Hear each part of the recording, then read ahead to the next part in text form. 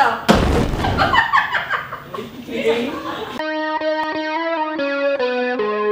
Yan yung way mo to cope up with things na. To realize na Hindi ka na talaga yung mas. nagsabi wala ka sa Kung di rin kayo sa huli, hindi mo na ulit hindi, dito lang yun. Kanta yun, no?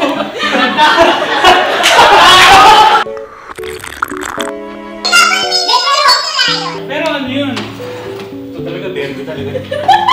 Nakakaidiwan eh. Oy! Pabalik ka na lang, ikaw.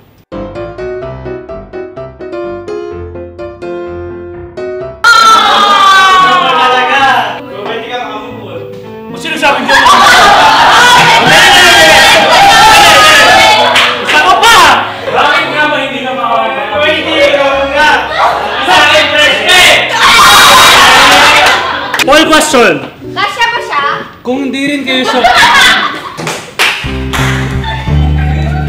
Body shaming! Guys! Millennials! Sugod! Kung hindi rin kayo sa huli, pipilitin mo ba yung sarili mong ibig pa muli?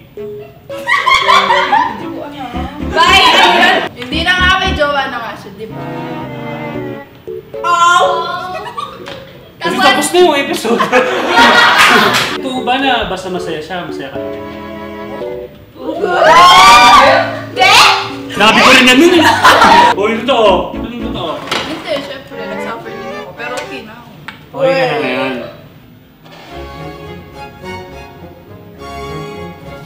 Matawa kayo dyan, kala nyo. Okay. Oh. Yan, yan!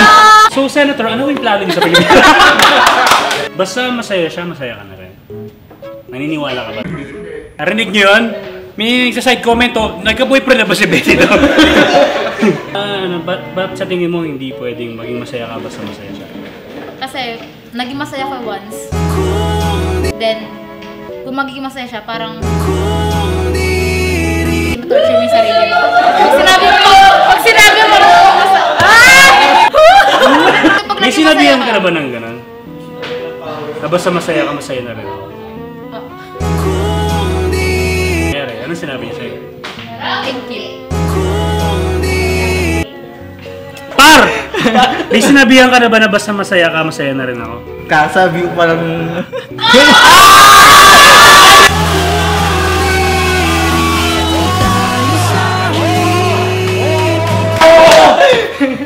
Nakahirap-hirap yung trabaho ko?